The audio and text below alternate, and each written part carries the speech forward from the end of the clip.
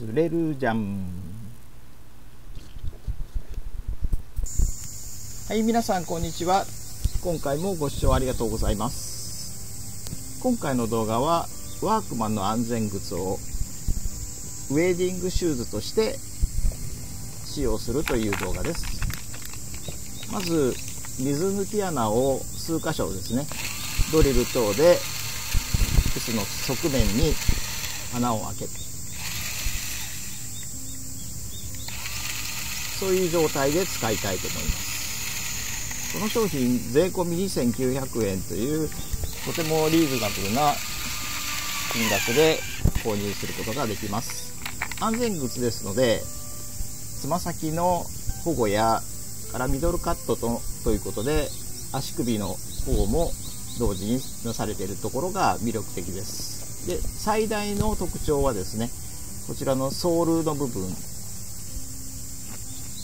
ラバーソールなんですがとても滑りにくい素材でできているということです。もともとは調理場用に開発された靴の底を流用しているというそういうような商品になっております。それでは実際の調光がの動画に参りたいと思います、はい、現場にやってまいりました。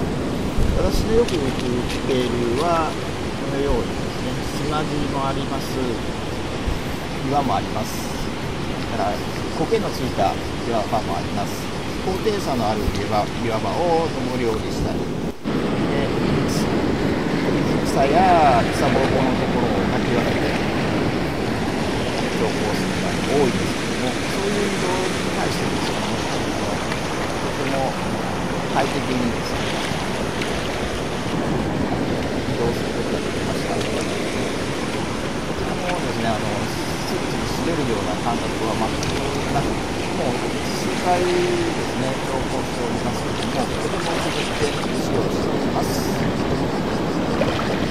よかったらですね、皆さんはこの動画を参考にされて、一度試されてみてはどうかなと思います。それでは、今回もご視聴ありがとうございました。またチャンネル登録の方もしていただけると非常に嬉しいです。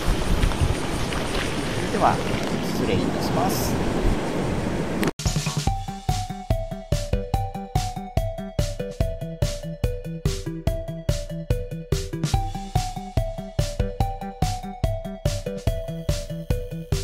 て